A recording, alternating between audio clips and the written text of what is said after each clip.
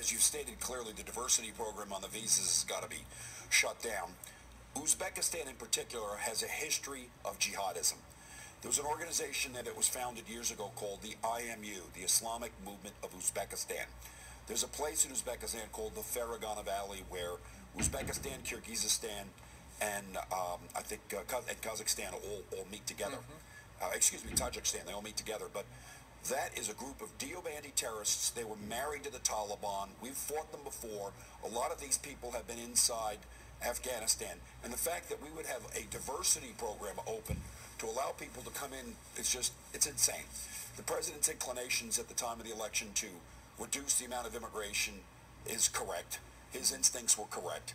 Well, Gary, Gary if there's a vetting. sure, if there's a problem though with Uzbekistan, why was that not on the list of uh, the countries that uh, we have an extra look at? Well, I think you know, well, you know, it takes a lot of specific expertise in some of these areas. Look, that organization was was formed about 40 years ago.